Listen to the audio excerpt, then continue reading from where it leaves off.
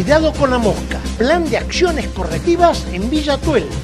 Ante la captura de dos ejemplares fértiles de la mosca del Mediterráneo en la red oficial de trampeo de Aliscamén en la localidad de Villatuel, se dispuso la implementación de un plan de acciones correctivas focalizado sobre el lugar del hallazgo. En esa área regulada de 7,2 kilómetros de radio, con epicentro en el sitio donde se produjo la detención de la plaga, se intensificarán las acciones de control, entre ellas la recolección y posterior enterramiento de los frutos caídos, descarga de los frutos hospederos de mosca del Mediterráneo, remoción del suelo bajo la proyección de la copa de los árboles y aplicación de insecticida y regulación en el tránsito de vegetales dentro del área, entre otras acciones.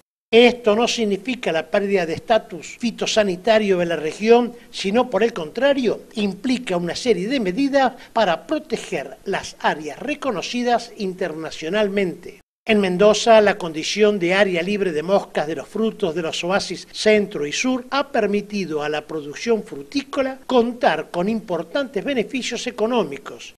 Y eso es lo que hay que cuidar, señalaron enfáticamente desde el ISCAMEN.